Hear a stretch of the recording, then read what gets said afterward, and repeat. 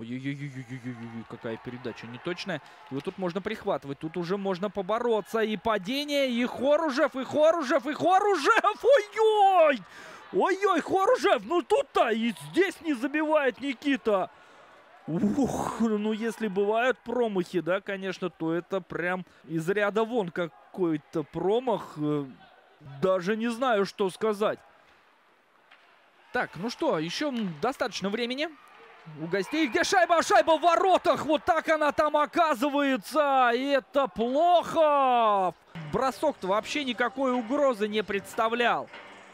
Да, Селецкий. Дальше сыграл с Федоровым. Еще одно оставление. Смена мест. Передача на пятак. Бросок! И 5-4 становится счет. И стальные лисы вырывают эту победу у Нижнекамской команды.